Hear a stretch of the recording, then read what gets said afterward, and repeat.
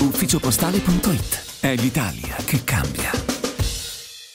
Grazie alla sinergia di enti come il BIM e la Fondazione Tercas, insieme all'attenta supervisione del Comune, rivive per il secondo anno consecutivo Castelli Residenza d'Artista, dal 31 luglio al 6 agosto all'interno del Borgo della Ceramica. È un progetto che è partito l'anno scorso e che vogliamo prosegua nei prossimi anni perché si tratta proprio di un processo di rigenerazione sociale e culturale del borgo e quindi nasce nella comunità di Castelli. Eh, Quest'anno partiamo il 31 luglio con delle residenze artistiche, quindi avremo eh, Davide Rasetti, giovanissimo teramano, musicista, compositore e polistrumentista, che porterà un lavoro eh, per la creazione di un soundscape che poi potrà essere utilizzato anche per l'avvenire per vivere Castelli, per vivere questo borgo. E con Arti e Spettacolo, che invece è una realtà consolidata aquilana, che già l'anno scorso ha dato prova di aver giustamente interpretato quello che è il sapore di, questa, di questo progetto, cioè ovvero quello proprio di interpretare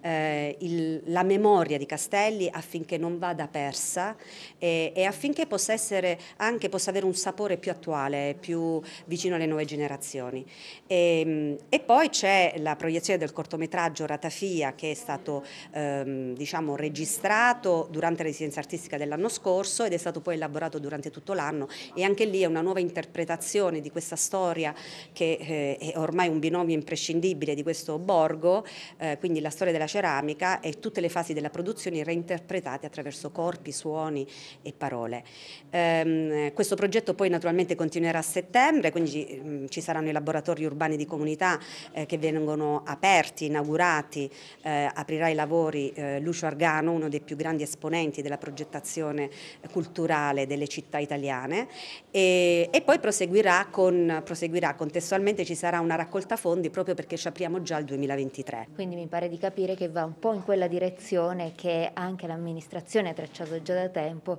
per ripopolare e riconsiderare il borgo in provincia di Terra. Assolutamente, noi abbiamo fatto un esperimento l'anno scorso e ha funzionato, anche artisti di altre discipline, ma anche artisti di altre generazioni, giovanissimi, o di altre culture, che avevo avuto anche diversi stranieri, hanno, avuto, hanno attecchito su quella che è poi la produzione artistica castellana, perché di fatto l'artista viene contaminato da ciò che succede intorno a noi. E quindi è su quella linea che vogliamo muoverci, continuare le residenze, continuare ad ospitare artisti affinché gli artisti si, siano, si sentano onorati di poter produrre all'interno di questo borgo meraviglioso che già è motivo di grande ispirazione per loro e nello stesso tempo costruire una comunità accogliente che partecipi insieme a noi a questo percorso di ricostruzione.